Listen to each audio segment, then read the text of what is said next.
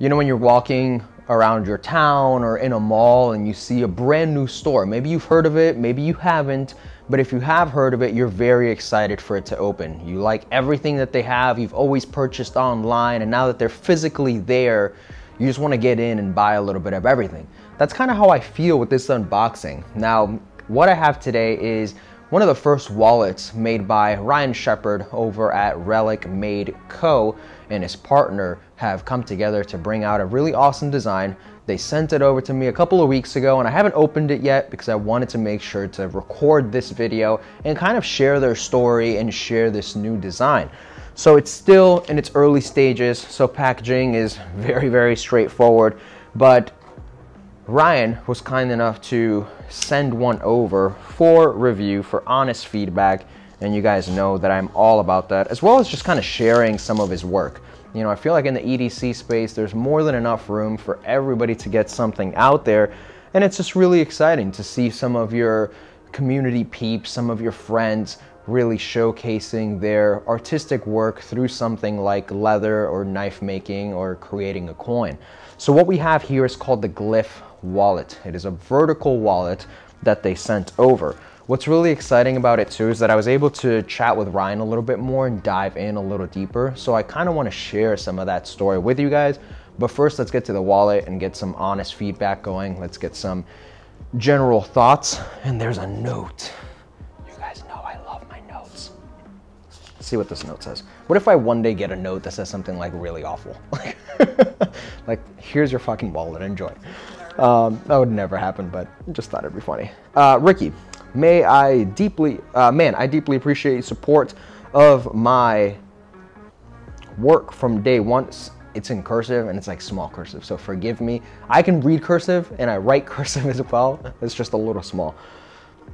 Um, man, I deeply appreciate your support of my work from day one. I can't tell you how much it means to me to have a friend like you out there in the community. I hope you enjoy the Glyph wallet and I hope you love it enough to buy from us again. Let me know what you think. Ryan and Charles, Relic Made Co. So that's his partner, Charles. They're working together on making awesome leather goods. So the Glyph wallet. This is it here. And right off the bat, I really dig the rugged look. Something that I deeply, deeply enjoy about leather wallets is the stitching. Um, to me, the stitching gives it either a very clean aesthetic or a very rugged aesthetic.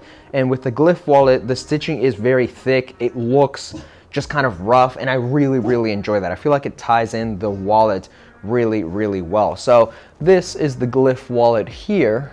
As you see the thick stitching on the side, fairly thick wallet, not too, too bad. And boom.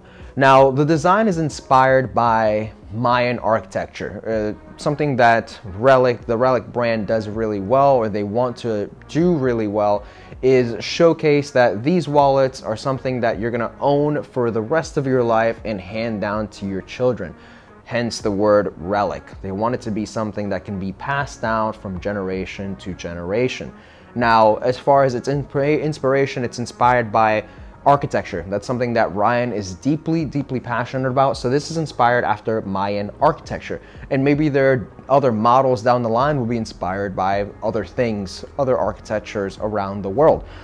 But right off the bat, guys, I really enjoy it. I think it's a very, very sturdy wallet. I like the design that you do have this front pocket with you know, showcasing your wallet. I know that Ryan mentioned that it could be something where you can just kind of slide your wallet up which I think is super useful. I think a lot of those wallets that have that kind of lever system that lifts it up, I think that looks a little tacky and it brings a lot of bulk to the wallet. If you own one of those, no disrespect, it's just my personal opinion. Um, on the pocket, on the back side of the wallet, you have the same kind of cutout here, so you can slide your card up, or you can even put maybe cash back there or receipts. I typically use those wallets or these pockets for receipts and then on the inside, you have a big old pocket to throw some cards into. Now, I asked Ryan what were some of the things that he learned throughout his process, and something that stood out to me as a new maker is the trial and error of it. You know, creating a design, sending it out for feedback, letting people know that you are creating something powerful, and then taking that feedback and growing. I think a lot of the times when it comes to feedback, some people get too defeated by it and they end up giving up. But Ryan has been working very hard on this Relic wallet, his other brand, Oath and Honor, as well. And it's just nice to see him take all that feedback and use it to create something incredible. So I'm thoroughly happy with this wallet. I think the design is very nice. Um, I'm actually gonna put it through its paces and take it with me in the next week or so to see how it performs. And if you guys wanna see a follow-up video to this one, let me know in the comments down below by liking, by subscribing, and by commenting.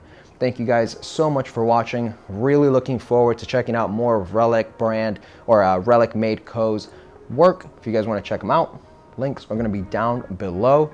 Thank you guys for watching and catch you guys in the next one.